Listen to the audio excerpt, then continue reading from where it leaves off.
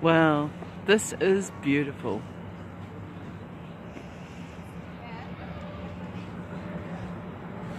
And I should know where I'm at, I'm at. But you know, I've got the downloaded walking apps. Oh, and I've also got the offline Google Maps. And really, sometimes it's just good to wander.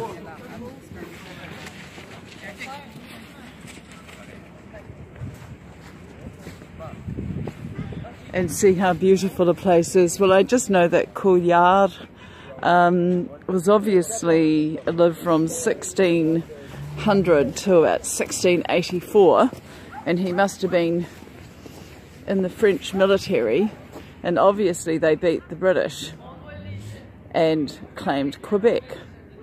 I know the French fought some fierce battles all over this continent. So, more exploring.